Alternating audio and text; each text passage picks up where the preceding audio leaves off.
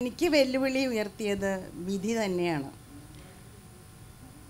എന്റെ ഓർമ്മ വെച്ച കാലം തൊട്ട് കാലിൽ ചിലങ്കയും ചുണ്ടിൽ സംഗീതമുണ്ട് കേരള സംസ്ഥാന യുവജനോത്സവങ്ങളിൽ നൃത്തത്തിനും സംഗീതത്തിനും ഒക്കെ സമ്മാനം മേടിച്ച് ഇങ്ങനെ വീട്ടിലെയും സമൂഹത്തിലെയും ഒക്കെ ഒരു ഓമന കുട്ടിയായിട്ട് വളർന്നതാണ് ഞാൻ ഞാൻ പട്ടണത്തിൽ തന്നെയാണ് ജനിച്ച് വളർന്നത്.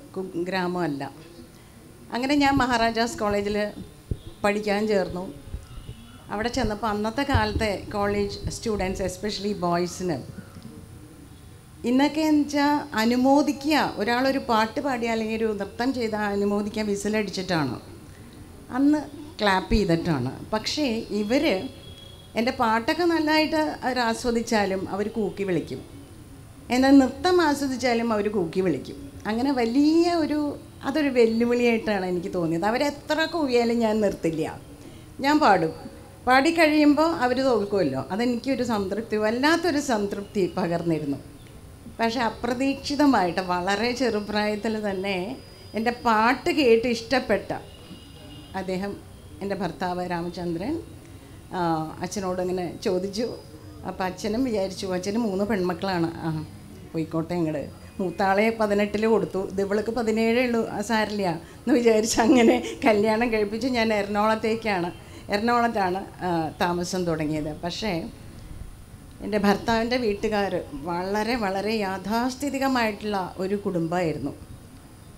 ഞാൻ ഈ ചെറുപ്രായത്തിലേക്ക് എനിക്ക് തോന്നുന്നു അവിടേക്ക് വലിച്ചെറിയപ്പെട്ടു എന്ന് തന്നെ പറയാം.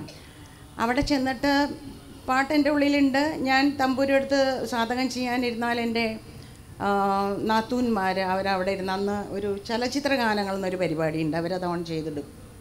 അതായത് എന്നെ ഡിസ്റ്റർബ് ചെയ്യുക അത്രേ എന്നെ ഉദ്ദേശമുള്ളൂ അത് കഴിഞ്ഞ് ഒരു മൂന്നാലഞ്ച് മാസം കഴിഞ്ഞപ്പോൾ ഉഷാ ഉതുപ്പിന്റെ ഒരു പ്രോഗ്രാം ഞാൻ കുറച്ച് വിസ്തരിച്ച് പറയുകയാണ്. എറണാകുളത്ത് വന്നു. അവരുടെ ഗിറ്റാറിസ്റ്റ് എനിക്ക് ഗിറ്റാർ വായിച്ചു കൊണ്ടിരുന്ന ആളാണ്. അയാൾ പറഞ്ഞു ശ്രീ നാളെ വന്ന് പാടണം. അപ്പോൾ ഞാൻ വളരെ സന്തോഷം. ഇന്ന പാട്ട് പാടാം. നമുക്ക് പ്രാക്ടീസ് ഒന്നും വേണ്ട. നിത്യസാധകമാണല്ലോ കുളിമുറിയിലായാലും എവിടെയായാലും നിത്യ സാധകം. അത് ഞാൻ ഇവിടെ അവതരിപ്പിച്ചു. അവിടെ എന്താ പറയുക അഗ്നിപർവതം പൊട്ടിത്തെറിച്ചു എന്ന് പറയാം കുടുംബത്തിൽ ഭർത്താവിന് അച്ഛനും അമ്മയും ഉണ്ടായിരുന്നില്ല പക്ഷേ സഹോദരങ്ങളുണ്ടായിരുന്നു.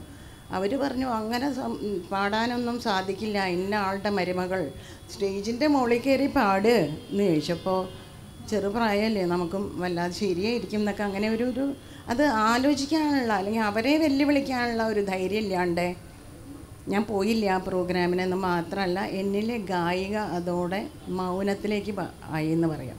നൃത്തവും അതോടെ ചിലങ്ക അഴിച്ചു വെച്ചു.